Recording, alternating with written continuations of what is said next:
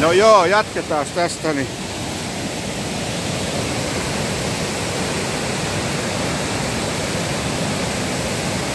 Sama paikka ja eri kulmasta. Just tuossa kaveri sanoi, että on, on lohella kova homma nousta ja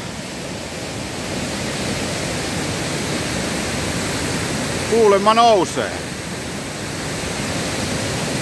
On kyllä on hurja pauhuja. Tässä tuntee kyllä ihminen aika pieneksi itsensä tämmöisissä paikoissa.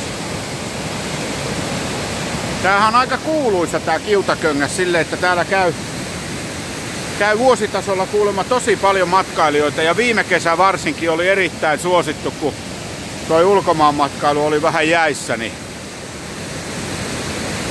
tämmösiä. Hienot on, hienot on paikat.